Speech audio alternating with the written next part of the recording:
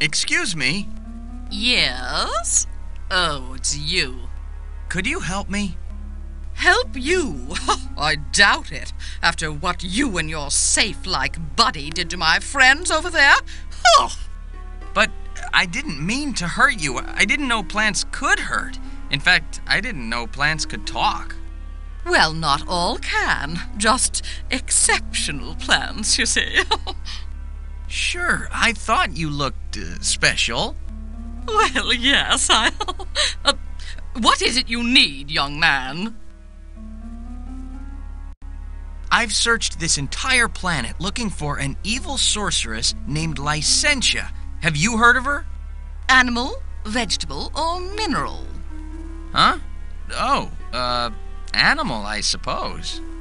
Doesn't matter, never heard of her. But that doesn't mean she doesn't live around here. I don't get out much. Roots, you know. Is there anyone here in Tenebrous that could help me? well, let's see. Hmm. You know, there is that strange duck who's always recording odd crysts. Oh, uh, a duck? What's his name? Uh, where could I find him? No, he's not a real duck. Don't remember his name. Don't know that I ever heard it.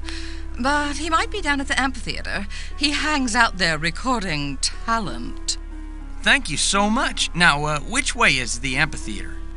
Oh, you can't get there from here. But this theater, which way is it?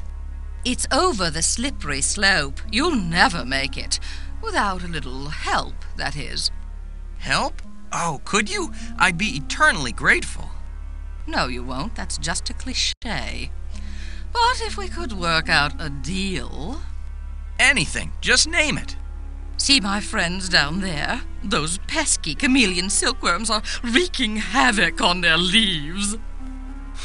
Now who's the cliche? What? Oh, anyway, if you can stop the silkworms, I'll convince the grass to help you cross the slippery slope.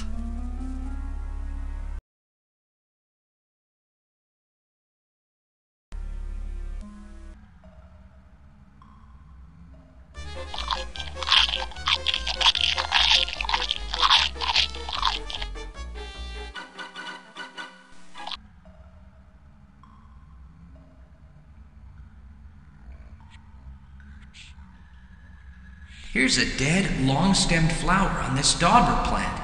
Surely no one would mind me pruning this.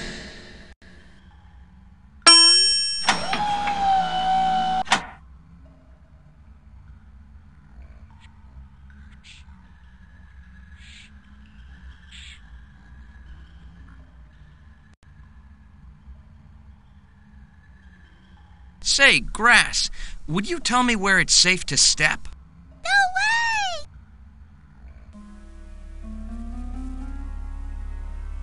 Whoa! This is really slippery.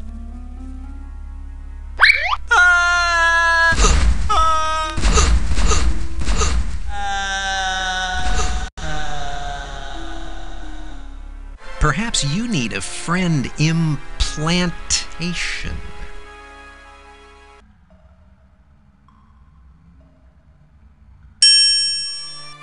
This tree's trunk is covered with some very sticky stuff. Hey, stop poking me. Hey, you can speak! Although, I don't know why I'm surprised. Of course I can, but what good does it do me? No one listens.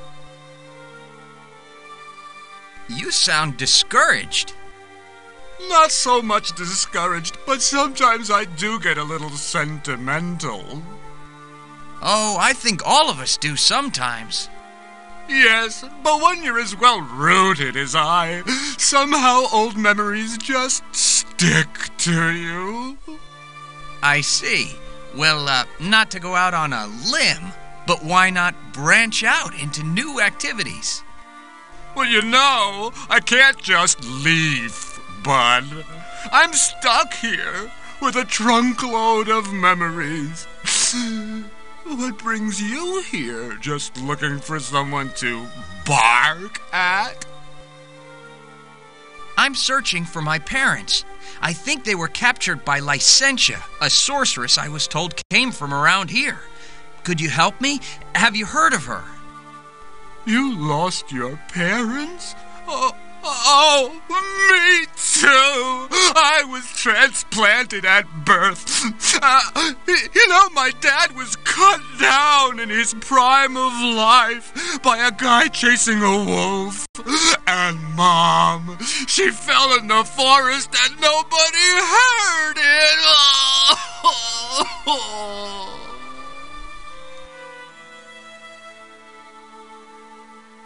Excuse me, do you mind if I borrow a little of this sap?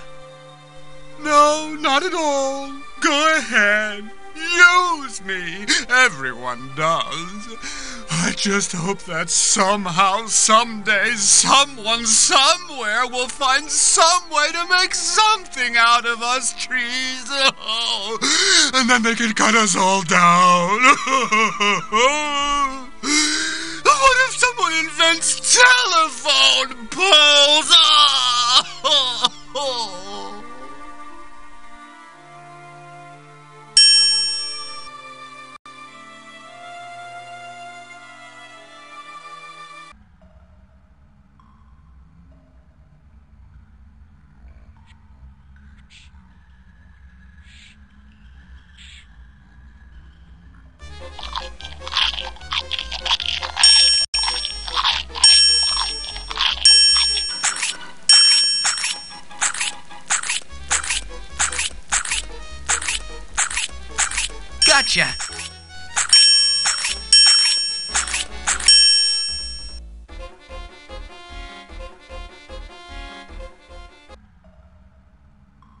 I did it! The silkworms are no longer a problem. But aren't they kind of funny colored? Oh, those little buggers produce silk of any hue. Just place them on a color, and they'll make a copy of it for you, and in silk yet. But don't waste them, and please don't drop them around here, okay? I did it! The silkworms. Oh, those little buggers.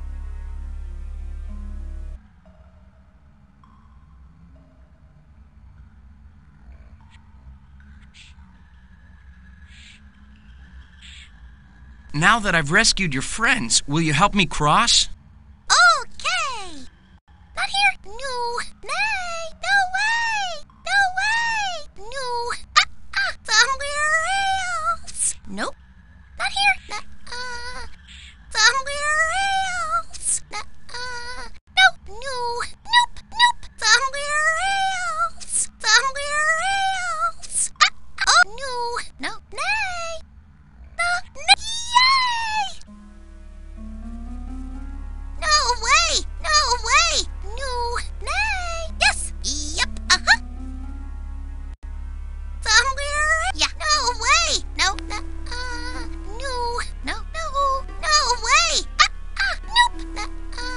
Nope! Nope!